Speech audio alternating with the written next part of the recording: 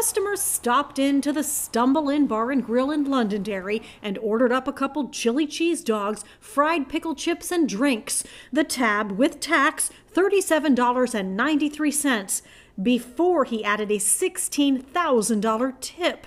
At first, the staff didn't even notice it. It was on the credit card statement. They put it down next to the register. And he said for three times, don't spend it all in one place. That's what made her flip it over and look. And she's like, oh my God, are you serious? And he's like, I want you to have it. You guys work hard. The eight bartenders working contacted the owner. Thought it was a mistake. Could have been like a maybe a hundred and sixty dollar tip, and he added extra zeros.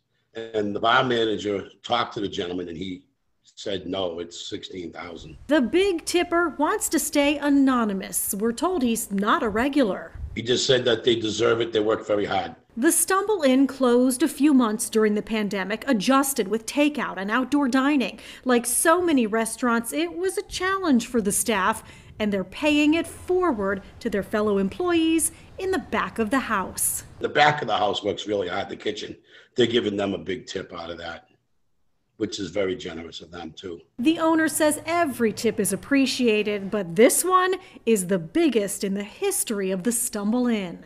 Oh yeah, yeah.